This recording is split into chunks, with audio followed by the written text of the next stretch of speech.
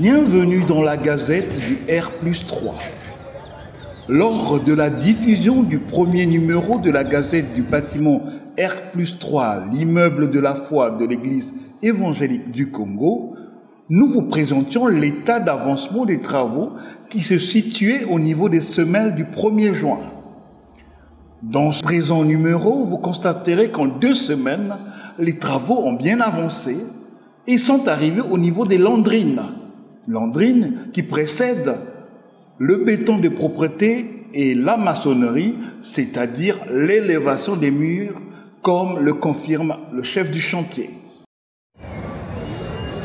Alors mon frère, nous étions ici à presque trois semaines. On était encore en train de faire les semelles. À quel niveau se trouve-t-on maintenant? Actuellement, on a fini de faire les longrines et euh, d'ici la fin de la semaine, on finit le remblai, on fait la dalle de sol et on commence la maçonnerie. Donc euh, à partir de lundi, il y aura déjà l'élévation des murs ici, sur, au niveau du 1er juin. Ça, c'est ce qu'on avait appelé le 1er juin.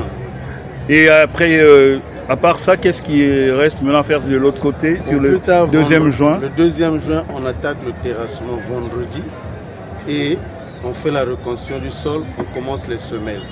Donc on aura deux champs de bataille maintenant, une partie la maçonnerie, une partie la suite du deuxième jour pour les semelles.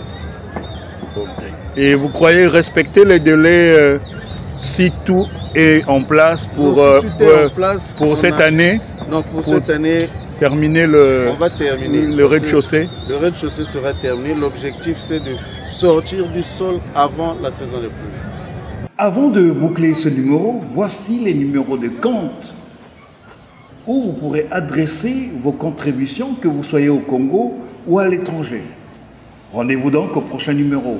Contribuez au relèvement de l'EEC en participant à la construction de l'immeuble de la foi. À bientôt!